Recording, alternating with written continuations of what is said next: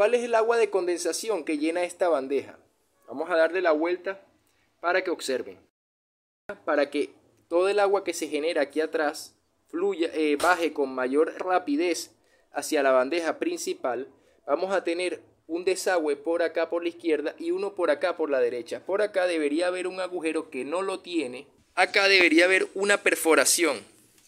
Miren donde tengo el dedo, debería haber una perforación para que el agua caiga en esta esquina y empiece a descender hacia este agujero.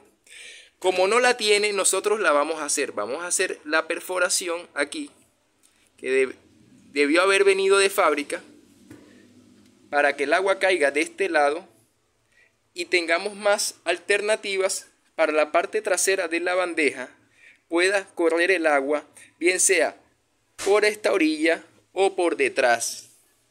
Como la bandeja vino con defecto, nosotros vamos a hacer el agujero.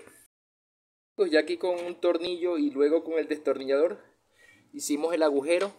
Ya saben que el agua va a poder salir por acá donde hicimos el agujero o puede bajar por acá por, por debajo del buje, de la tapa del buje.